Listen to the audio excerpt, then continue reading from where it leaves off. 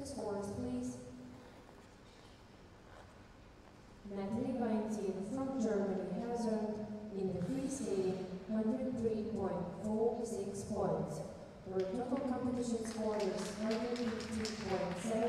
points, and she is currently in the first place.